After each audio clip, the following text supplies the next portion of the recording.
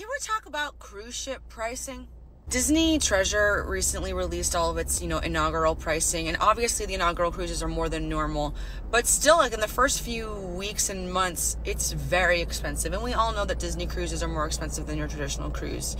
I think that they deserve to be, honestly. And I'm speaking as somebody who was an avid cruiser and worked on cruise ships as an entertainer and director for six years. But something I've never understood about cruise ship pricing, regardless of what line you're on, is how much the room dictates the cost of your vacation. Yes, this kind of goes for like any trip where, like, the nicer your hotel room, the more expensive your trip is. But we can all agree that wherever you're going, you're not really spending time in your room right? So to me, what's interesting about cruise ships, or I guess also applies to like all inclusives, is just how much it can be when literally the entirety of your trip outside of your room is the same no matter how much you paid for your room.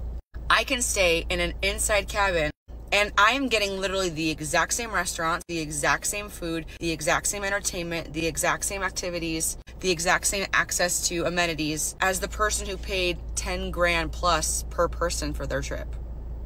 And that to me has always blown my mind. Looking at some of the pricing for the Disney Treasure, some of these things for a family of four would be like the down payment of a house. Meanwhile, somebody buying an inside cabin is experiencing the exact same trip for the most part for way less. I don't know. Am I crazy? Am I weird for thinking that that's like kind of nuts? Especially because I feel like on a cruise, if you're doing it right, you're not in your cabin. And if you are in your cabin, it's because you're taking a nap. I don't know. I don't know. Just me?